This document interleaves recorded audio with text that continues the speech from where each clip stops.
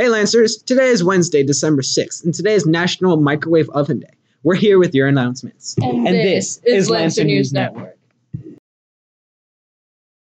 Hi, I'm Pari with your Laguna Sports. Yesterday, our boys basketball team had a game against St. Patrick's, and they did a great on all their games in this basketball season. Today we have Cal Poly Library tuning from 3 to 4 after school. Go check it out if you need some extra help or need to catch up on some missing work.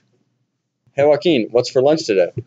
Glad you asked. Today for lunch, we have teriyaki grilled chicken and broccoli over rice, cheese corn enchiladas, and wow butter and house jam sandwiches. Speaking of yummy foods, the clubs for today at lunch we have our American Sign Language Club in E12 and the Fellowship of Christian Athletes in G5, and Improv Club in G3. Up next, we have our Pride Card drawing.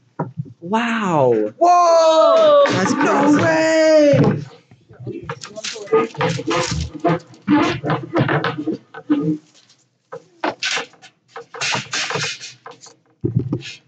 Congratulations to Sophia Lampard for being above and beyond and being a great teammate. Make sure to claim your Zen Dogs gift certificate at the front office. Now it's time for this day in history. On this day in 1910, it was the first public demonstration of neon lights, and the first copy of the Washington Post was published. Now, to wrap this up, let's stand for the Pledge of Allegiance.